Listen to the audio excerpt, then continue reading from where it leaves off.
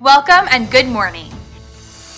Britain's government said it would improve Saudi Aramco with $2 billion in credit guarantees so that Aramco can buy British goods easily.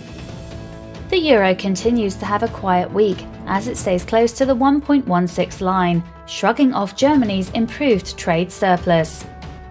Crude oil prices seesawed as conflicting forces pulled them in opposite directions. All eyes now turn to the much anticipated US tax cut effort. The Aussie dollar pair is showing some bearish movement, backed by the CCI and a growing resistance from stochastic. The dollar yen pair is showing some swinging movement. Stochastic remains neutral for now. The RSI is neutral for now. The price of crude oil remains supported from beneath as the rate of change is indicating a growing bullish momentum.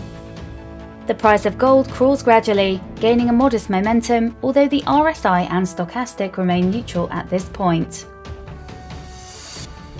The German HICP will be released on Tuesday at 0700 GMT, the Eurozone's GDP Tuesday at 1000 GMT, the Eurozone's industrial production Tuesday at 1000 GMT the US CPI Wednesday at 13:30 GMT, the Eurozone CPI Thursday at 10:00 GMT, and the US Baker Hughes US oil rig count Friday at 1700 GMT.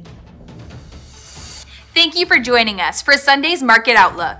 On behalf of all of us here at iTrader, we wish you a productive trading day. Be sure to log into iTrader.com for all of your trading needs. Your personal account manager is ready to answer all of your questions.